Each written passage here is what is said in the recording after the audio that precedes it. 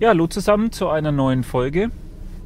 Und heute geht es nochmal um die Tarifstruktur, die neue Tarifstruktur der Maingau. Und da hatte ich ja vor ein paar Tagen eben das mal zusammengestellt, beziehungsweise das Video ist schon ein bisschen älter gewesen, war halt in der Pipeline, kam dann erst. Ähm, und da hat jetzt ein User einen Kommentar unten drunter ähm, gesetzt und da finde ich, ja, das ist gar nicht mal so weit dahergeholt. Und zwar geht es darum, ist denn diese Zeitgebühr, die nach einiger Zeit eben verlangt wird, also ich glaube nach zwei Stunden AC-Laden, einer Stunde DC-Laden, irgend sowas war es jetzt nochmal. Ich blende nochmal den Tarif ein, dann haben wir es nochmal ganz genau. Ähm, ist denn das überhaupt rechtens? Hintergrund ist, eigentlich der Stromliefervertrag, äh, sage ich jetzt mal, ist ja so, dass man da nur per Kilowattstunde abrechnen darf. Jetzt darf man aber theoretisch noch Komponenten mit einbauen, die ja, zum Beispiel jetzt ähm, eine Parkgebühr beinhalten. An den allermeisten Ladestationen gibt es aber keine Parkgebühr. Und ich glaube, das ist jetzt so der springende Punkt. Das heißt, hier zum Beispiel in Nürnberg gibt es zwar theoretisch so einen Straftarif des Anbieters, wenn die Ladung zu Ende ist allerdings, nicht nach einer gewissen Zeit, sondern wenn die Ladung zu Ende ist. Stehen darf man an den meisten Ladesäulen hier in Nürnberg vier Stunden.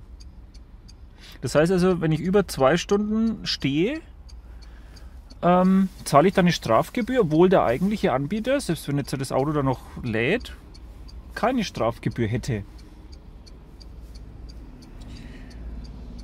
Das ist meiner Meinung nach tatsächlich rechtswidrig. Also äh, vor allem, Sie müssten diese Gebühr, diese Parkplatzgebühr ja dann weitervermitteln an den, an den Anbieter. Und wenn jetzt aber ein Anbieter, wie in vielen Städten das der Fall ist, keine Parkplatzgebühr hat und auch keine erheben will, dann ähm, halte ich das für schwierig, sagen wir es mal so. Ja, werde das Ganze mal beobachten. Ähm, ich werde mal die Maingau anschreiben, mal gucken, was da als Reaktion kommt, wie sie denn darauf reagieren, denn tatsächlich ähm, sollte das eigentlich nur für wirklich dann bei Ladestationen gelten, wo auch der Anbieter so etwas eben macht.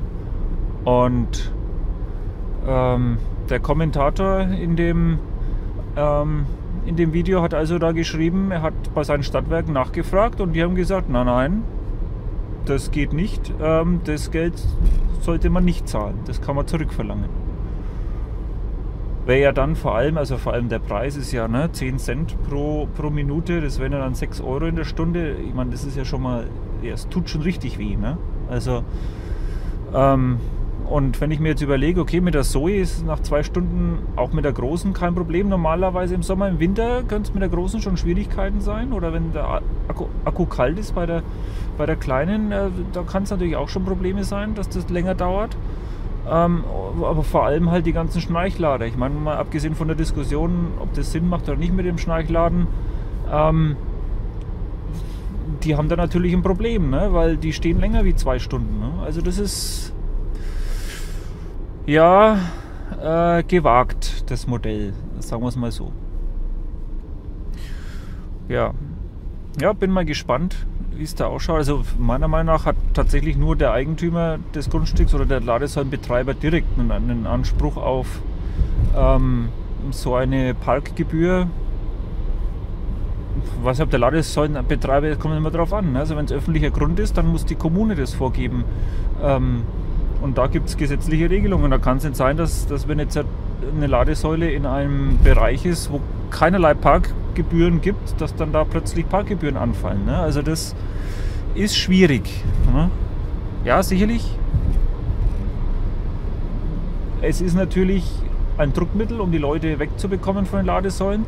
Aber ich denke, man sollte das nicht nach der Standzeit machen, sondern tatsächlich ähm, sollte man da tatsächlich, wenn man schon so etwas, so eine Strafe einführen wollen würde, so wie es bei Tesla eben ist, die können das machen, das ist in ihr äh, gepachteter Grund, da haben die da haben die das Hausrecht, das können sie durchsetzen, aber ein anderer Anbieter, schwierig. Ne?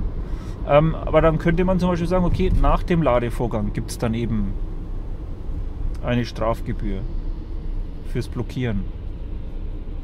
Wobei ich vermute, das müsste dann Maingau mit jedem Betreiber selber ausmachen. Ne? Ja. Naja, wie dem auch sei, ähm, da gibt es sicherlich noch Diskussionsbedarf. Ich bin mal gespannt, was da dabei rauskommt. Ja, vielleicht antworten sie ja auch gleich, dann hänge ich es noch hinten mit dran an das Video. Wünsche, Kommentare, Anregungen gerne wieder unter diesem Video. Ciao, ciao. Bis zum nächsten Mal.